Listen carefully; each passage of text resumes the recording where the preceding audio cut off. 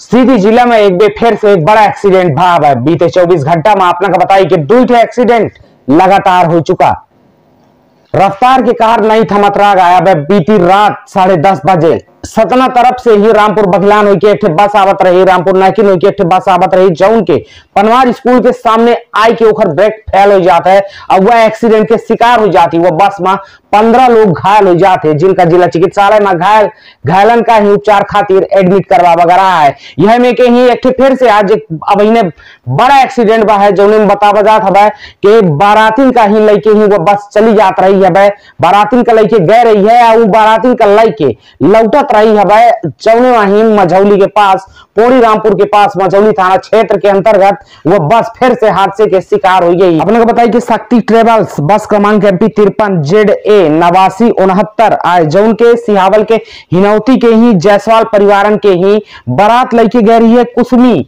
कुसमी से ही अब यह बाया मझौली सीधी चिल्लौटी आवत रही है। जौने के ही मझौली थाना क्षेत्र अंतर्गत पोड़ी रामपुर के लगे यह बस हादसे के शिकार हो जाता है। बतावा जाता है कि जैसे पोड़ी रामपुर के पास बस आवत ही वैसे दो मोटरसाइकिल वाले बस के सामने आ जाते मैं, और वो मोटरसाइकिल वाले का बचावे खातिर बस एक्सीडेंट के शिकार हो जाती है, हादसा के शिकार हो जाती है।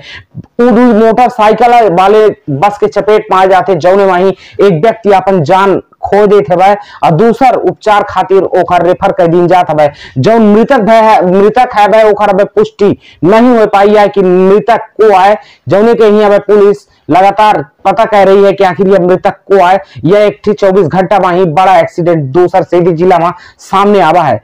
बहुत बहुत धन्यवाद। अपने पंच देखा बाढ़ टाइम्स के बघेली संवाद। जय हिंद। बड़ी बड़ी घटनाएँ होती जा रही है। सर रफ्तार पे लगाम जो है लग नहीं पा रहा है। आगामी दिनों में क्या ऐसी व्यवस्थाएँ की जाएँगी? इसमें हमने देखिए लगातार जो बसों के फिटनेस है चाहे स्कूली बस हो यात्री बस हो उसके फिटनेस के लिए लगातार अभियान के रूप में काम यातायात विभाग परिवहन विभाग पुलिस विभाग और अन्य राजस्व के भी अधिकारी कर्मचारी इसमें लगातार लगे हुए हैं।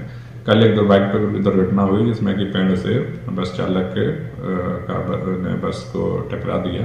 हालाँकि कोई यातायात नहीं हुए। एक दो लोगों को थोड़ी गंभीर चोटें आई और बाकी मामूली चोट के साथ सबको जिला अस्पताल में ट्रीटमेंट देके और उनको रवाना किया गया। ये फिटनेस के लिए ड्राइवरों के भी टेस्ट और अगर उसकी कुछ ट्रेनिंग वगैरह हो सकती है काउंसलिंग सेशन बीच बीच में हो सकते हैं तो इसके लिए भी एक अभियान चलाने का प्रयास किया जाएगा सर सड़क से सटे हुए पैलेस बन चुके हैं सर। और हाईवे में भी लगे हुए कई पैलेस ऐसे नज़र आते हैं। कल जिस तरीके से दुर्घटना घटित हुई है वह खुदा न खास्ता वो अगर बस ड्राइवर रास्तों के आसपास जो इस तरह के बड़े इवेंट वाले मैरिज हॉल हों या हों वो रास्तों को ब्लॉक ना करें। और जो भी इवेंट्स हों वो रास्ते के बगल में हों। इसके लिए सभी जो मैरिज हॉल संचालक हैं और अन्य जो हॉल वगैरह के लोग हैं उनके साथ एक त्वरित गति से एक चर्चा और प्रशिक्षण सत्र आयोजित कर लिया जाएगा। उनको इस बात पे सूचना दे दी जाएगी। सड़क सुरक्षा समिति बैठक में भी इस मुद्दे को उठाया जाएगा। और अगर कोई इसका उल्लंघन करते हैं तो उसको वहाँ से हटवा